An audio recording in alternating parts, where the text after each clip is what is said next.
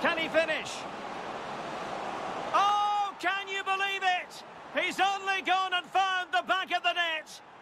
We won't forget that goal in a hurry, spelling out just how deadly he can be. Sensational.